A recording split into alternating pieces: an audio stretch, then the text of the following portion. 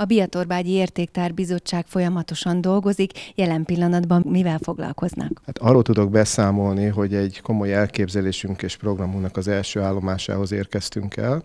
A Mesélő táblák nevű projektről van szó. Biatorbágy városában meglehetősen sok helyi és országos jelentőségű védett vagy védendő érték található, ám ezeknek a információs táblával való ellátása, megjelölése mindmáig várat magára.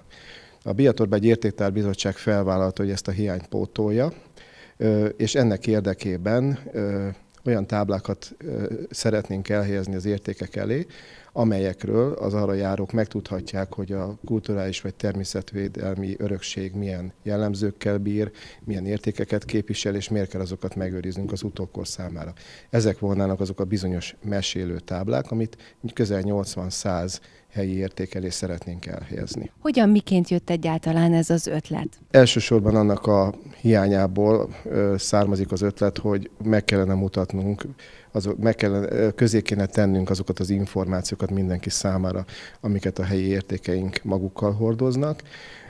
Ezek, ezért gondoltuk azt, hogy egy speciális táblákat rendelünk erre a célra, de még mielőtt ezt megtettük volna, arra, arra jött rá a bizottság, hogy egy országos grafikai tervpályázattal kell indítani ezt a programot, és ezt a tervpályázatot az idei esztendő első negyedévében kiírtuk, és a vártnál nagyobb sikerrel zárult a pályázat, mert 16 rendkívül értékes pályamunka érkezett, főleg fiataloktól.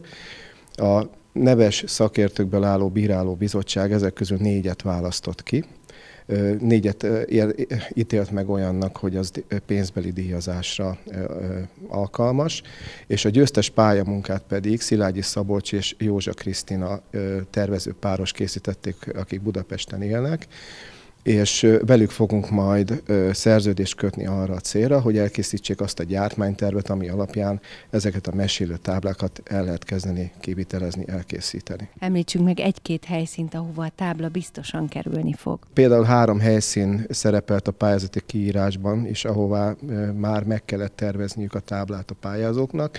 Az egyik Hantai Simon nemzetközi hírű festőművészünknek a szülőháza, a Kölcsei utca és a Szent István utca sarkán.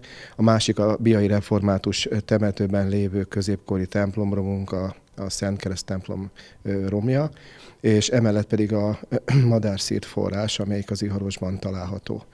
Olyan táblákat kell elképzelnünk, amelyek megnevezik az, az értéknek a nevét, színnel jelölik, hogy országos vagy helyi védettségű, vagy értékekről van ez szó, és egy QR kód is szerepel rajtuk, aminek segítségével mobiltelefon lehet hozzájutni majd a szükséges információkhoz. És emellett azt is szeretnénk, hogyha ezeket a mesélő táblákat túrákba lehetne rendezni, ezért egy most még meg nem határozott pontján a városnak valószínűleg elhelyezünk, terveink szerint elhelyezünk egy biatorbágy térképet, ami leginkább egy terepasztalhoz lesz hasonlítható, amire felvezetjük az összes megjelölt helyi értéket, és ezek alapján, aki ezt átnézi, az tud magának túrát tervezni, hogy mit szeretne majd megnézni Biatorbágyon és környékén. A Biatorbágyi Művelődési Ház is őrzi az értékeket, és próbál olyan programokat létrehozni, amik szintén errefelé irányulnak. Mennyire tudnak önök együttműködni, együtt dolgozni, együtt gondolkozni? Folyamatos az együttműködésünk. Most például a közeljövőben a múzeumok éjszakáján is a Biatorbágyi Értéktárbizottság és a Juhász Ferenc Művelődési Központ egy közös programban várja az érdeklődőket egy kisvasutat hozunk Biatorbágyra, amelyik körbejárja a települést, és ezen mi az Értéktár Bizottság, illetve a Biatorbágyi Tájvédőkör néhány szakértője idegenvezetést vállaltunk, amelyben elmeséljük a vonaton ülőknek, hogy a, a vonatról látható értékek mit képviselnek, és mit kell tudni róluk. Van-e arra irányuló terv, hogy esetleg a biatorbágyi gyermekeknek már mondjuk az általános iskola alsó osztályaiban beszélnek, mesélnek biatorbágy értékeiről, hogy valahogy már az a kicsi mag az ő lelkükben, szívükben el legyen ültetve, és valóban az itt élő emberek kicsit jobban tisztában legyenek azzal, hogy milyen értékek vannak itt. Teljesen egyetértek, nem elég minél korábban kezdeni a szülőföld, a lakóhely szeretetének a kiművelését.